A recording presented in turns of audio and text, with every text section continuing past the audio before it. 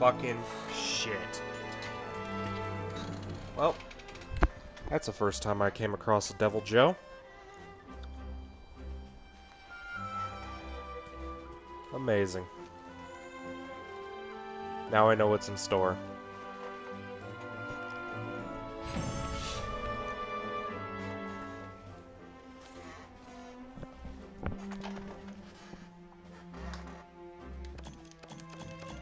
At least we got it done.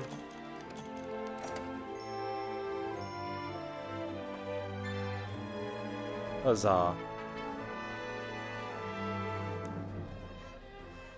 Alright. Well,